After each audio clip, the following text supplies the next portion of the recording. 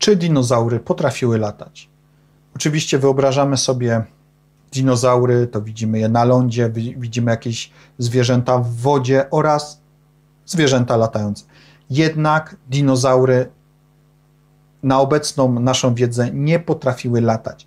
Tymi latającymi zwierzętami nie były dinozaury, tylko latające gady, pterozaury. To właśnie one latały, to właśnie je widzimy latające nad e, dinozaurami. Dinozaury były zwierzętami lądowymi. I tu również należy powiedzieć, nie żyły w wodach, tam była całkiem inna rodzina zwierząt. Czyli to właśnie pterozaury były tymi latającymi zwierzętami w czasach dinozaurów.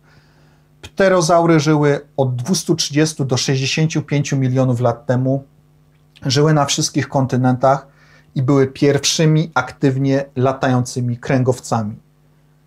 Dotychczas odkryto 60 rodzajów i około 120 gatunków. Te odkrycia cały czas oczywiście są w toku, ale musimy pamiętać, że dinozaury najprawdopodobniej nie latały. I chociaż mm, nowe odkrycia sugerują, że duża część dinozaurów była okryta piórami, to jednak ich waga, budowa uniemożliwiała im to aktywne latanie. Oznaczałoby to właśnie to, że no niestety nie latały. A pterozaury, bardzo często kojarzone z dinozaurami, bardzo często z nimi powiązywane, chociaż to są inne zwierzęta, to właśnie one były tymi latającymi zwierzątkami w czasie dinozaurów. Były, pterozaury były jajorodne, czyli z jajek się rodziły. Nie spotykaliśmy ich tylko nad morzem, czy też nad rzekami. Taki obraz też często w naszej świadomości istnieje.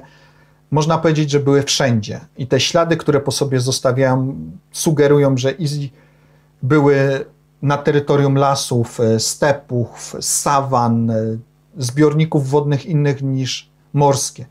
Były głównie mięsożerne, owadożerne, chociaż nie wyklucza się, że również mogły się niektóre żywić pokarmem roślinożernym, roślinnym.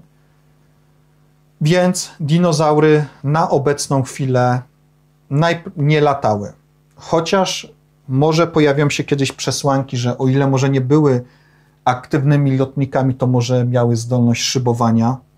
Jeszcze nie wiemy, co odkrycia co paleontolodzy odkryją i może ten temat jeszcze będzie otwarty. Dziękuję za uwagę i zapraszam ponownie.